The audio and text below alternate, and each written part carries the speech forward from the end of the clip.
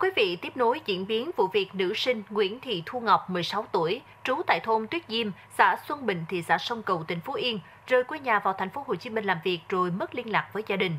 Trưa 15 tháng 6 năm 2022, ông Nguyễn Văn Hương, 53 tuổi, ở thôn Tuyết Diêm, xã Xuân Bình, thị xã Sông Cầu, tỉnh Phú Yên cho biết gia đình ông vẫn liên lạc được với con gái. Theo ông Hương, hiện Ngọc vẫn đang ở Campuchia.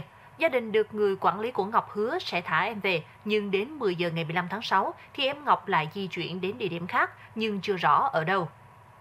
Ông Hương cho biết người này đã hứa rồi nhưng không thả người ra mà chuyển đi nơi khác. Lúc chuyển, ngoài Ngọc còn có ba người khác, hiện gia đình vẫn liên lạc được với Ngọc. Gia đình ông vẫn đang tiếp tục phối hợp với cơ quan chức năng để xác định ra vị trí mới của em. Trước đó, như báo Thanh niên đã đưa tin, chiều 5 tháng 6, Ngọc đón xe khách từ thị xã Sông Cầu vào thành phố Hồ Chí Minh để tìm việc làm. Đến sáng 6 tháng 6, Ngọc xuống xe tại bãi xe 537 Phạm Văn Đồng thuộc phường 13 quận Bình Thạnh và đến chiều cùng ngày gọi điện cho gia đình thông báo đã kiếm được việc làm. Sau đó, gia đình đã mất liên lạc với Ngọc nên ông Hương vội vào thành phố Hồ Chí Minh tìm con. Ông Hương cho biết cách đây khoảng 2 tháng Ngọc được một người lạ trên mạng rủ vào thành phố Hồ Chí Minh làm việc với mức lương rất cao. Người này còn gửi tiền và đồ dùng cá nhân cho Ngọc để tạo lòng tin. Khi Ngọc vào đến thành phố Hồ Chí Minh thì được đưa qua Campuchia. Trong khi đó, tại tỉnh Gia Lai, công an tỉnh này cũng đã phát cảnh báo về nạn lừa đảo tuyển dụng làm việc nhẹ lương cao. Theo đó, thông qua các ứng dụng trên nền tảng mạng xã hội, những kẻ lừa đảo đã đăng thông báo tuyển dụng với công việc đơn giản, yêu cầu có kiến thức về công nghệ thông tin, mức lương hấp dẫn. Một số người đã tin theo, đồng ý đi làm việc tại Campuchia và được các đối tượng hướng dẫn đưa đến các công ty do người Trung Quốc làm chủ.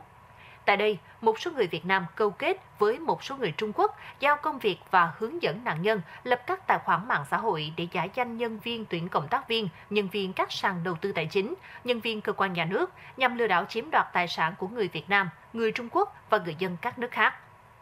Các đối tượng này ép nạn nhân thực hiện các chỉ tiêu về số tiền lừa đảo được trong tháng, nếu không hoàn thành sẽ cho vào diện vi phạm hợp đồng và bị phạt với mức từ 1.000 đô la Mỹ một tháng. Nếu nạn nhân chống đối sẽ bị đánh đập, không cho ăn uống. Đa số các nạn nhân bị lôi kéo sang Campuchia làm công việc này đều không hoàn thành chỉ tiêu. Khi nạn nhân muốn trở về Việt Nam, các đối tượng yêu cầu liên hệ với gia đình và đóng tiền bồi thường hợp đồng cộng số tiền bị phạt vì không hoàn thành chỉ tiêu lừa đảo. Mới đây, tại Gia Lai đã ghi nhận một số trường hợp bị lừa sang thành phố Sihanoukville thuộc Campuchia làm trong công ty do người Trung Quốc điều hành.